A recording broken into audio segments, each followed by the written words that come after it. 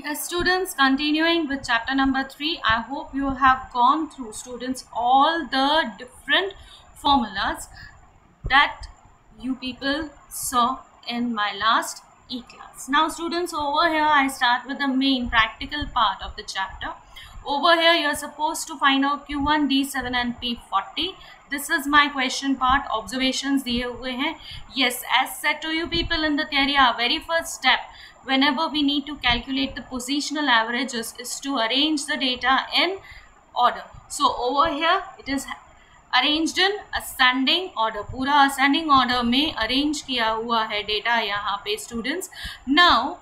we start with our main calculation part over here n is 20 ये सब अगर आप count करेंगे so you will see that your n is 20 I start with the calculation of first quartile that is q1 value of n plus 1 upon fourth observation formula yes quartiles are divided into four different parts divided data actually divide into four parts so नीचे division में हमेशा four आता है इधर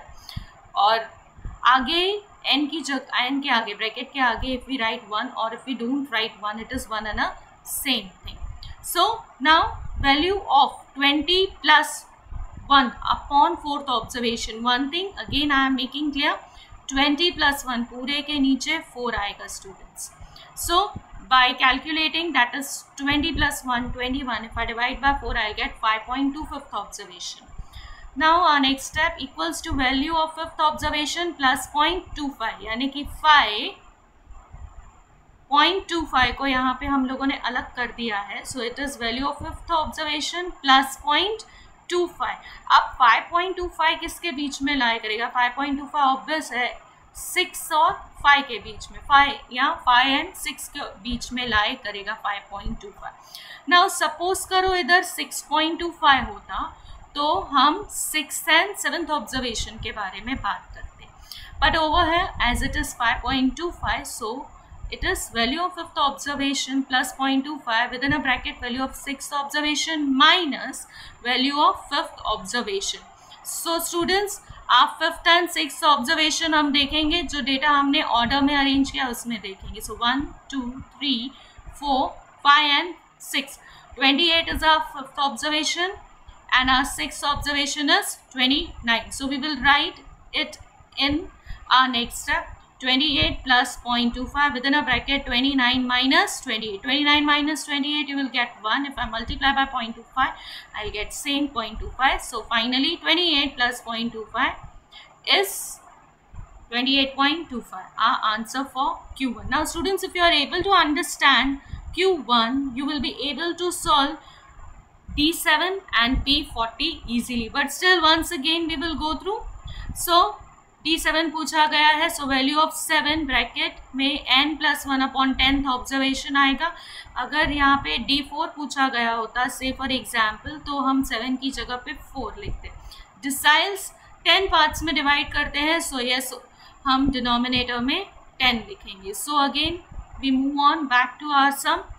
N की जगह पे twenty twenty plus one divide by ten seven बाहर ही रहेगा।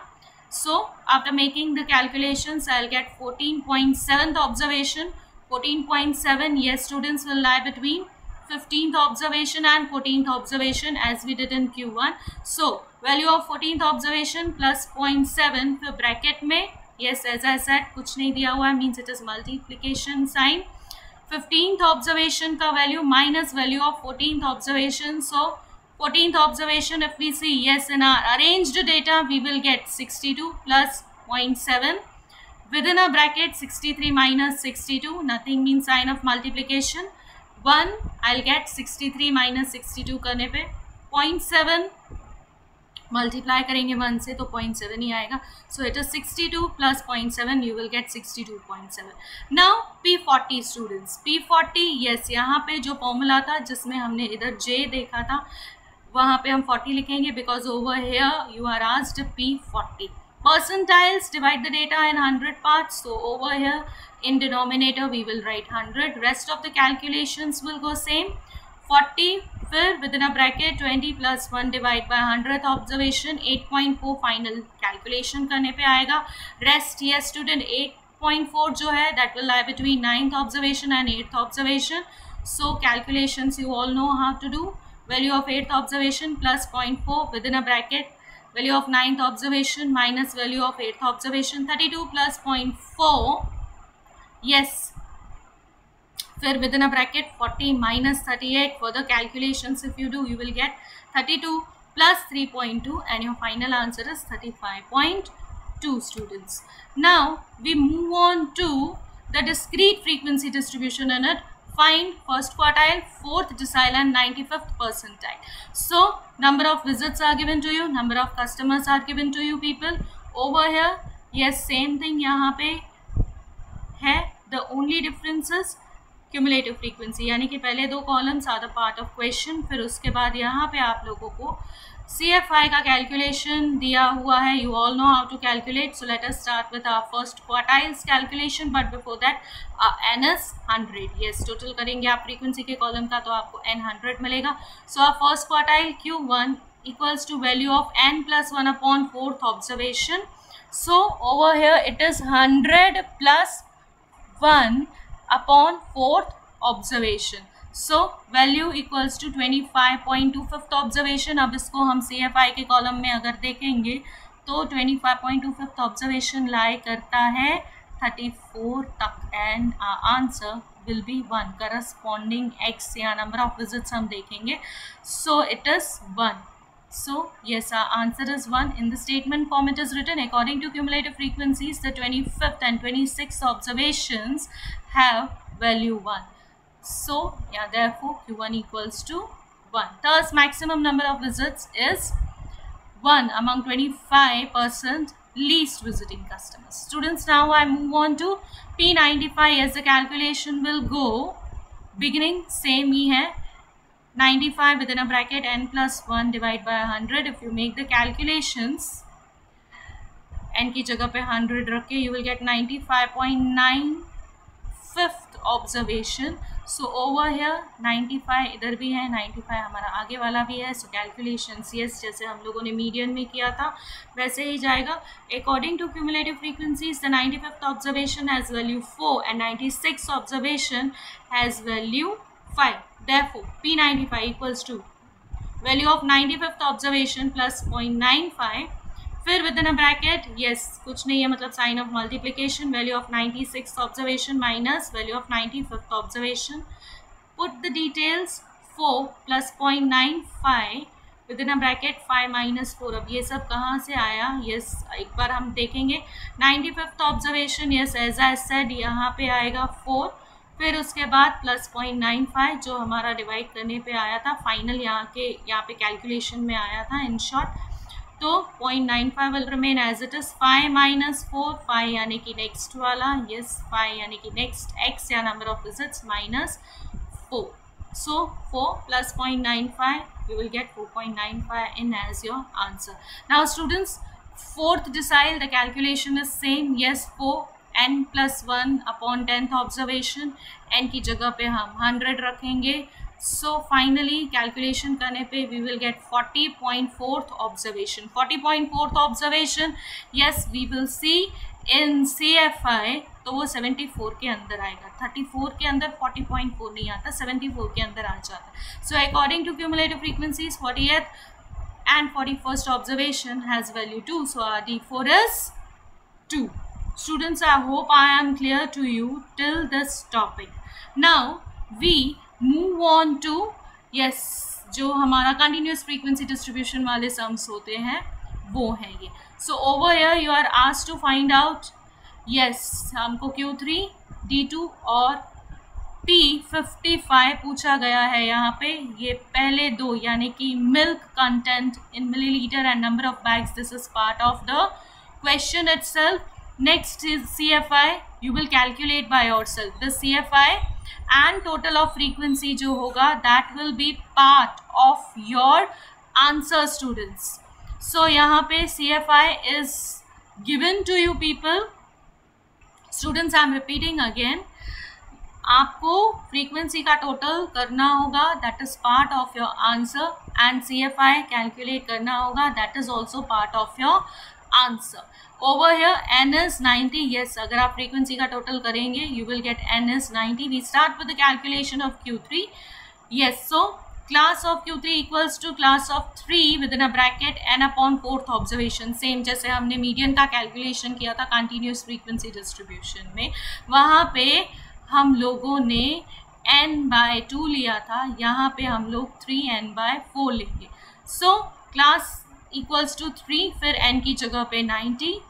yes divide by four final calculation you will get sixty seven point fifth observation so sixty seven point fifth observation looking into the column of C F I sixty seven point fifth observation तो हमारा eighty two तक वो आएगा।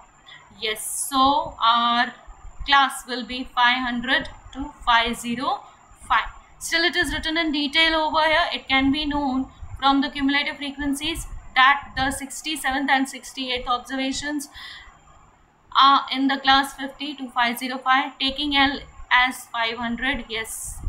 L 500 CF 59 yes जैसे हमने पहले किया था ऊपर वाला प्रायर टू दैट क्लास वाला आएगा 59 आएगा फ्रीक्वेंसी उसी क्लास की आएगी 23 आएगी CS5 our class length is of 5 5 put all the details in the formula Q3 equals to L plus 3 N by 4 minus CF upon F into C L की जगह पे 500 प्लस ये थ्री एन अपॉन फोर का calculation हमने किया था 67.5 आया था minus fifty nine upon twenty three into five do the calculation students finally you will get five zero one point eight five same for D two you will do the calculation students yes two आएगा यहाँ पे आगे J की जगह पे N will remain as it is N की जगह पे यस yes, 90 आएगा divided by ten because deciles जो है वो डेटा को टेन पार्ट्स में डिवाइड करते हैं।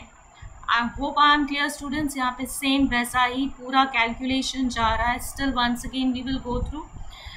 ninety by ten you will get 9 multiply by 2 you will get 18th observation. Same 18th observation हम CFI के कॉलम में देखेंगे तो 18 जो है वो 26 के अंदर आ जाएगा। सो so, अब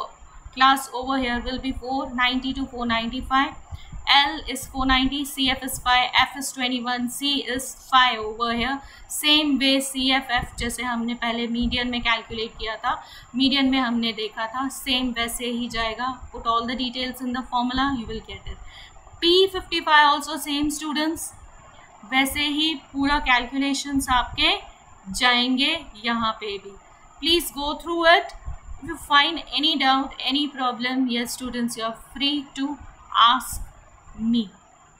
Now students over here we have the topic over here यहाँ पे क्लासेस दी हुई हैं फ्रीक्वेंसी आप लोगों को दिया हुआ है। थ्री बेसिक क्वेश्चंस आप लोगों को यहाँ पे इस पे बेस्ड पूछे गए हैं। The very first one is to find the limits for the expense of central fifty percent of the commuters students जब भी फिफ्टी परसेंट बोला गया हो सेंट्रल फिफ्टी परसेंट तो हम उसको मिडिल मोस्ट फिफ्टी परसेंट भी बोलते हैं। इसका मतलब आपको कैलकुलेट करना होगा Q one and Q three फिर लास्ट में आपको स्टेटमेंट लिखनी होगी। Suppose your Q one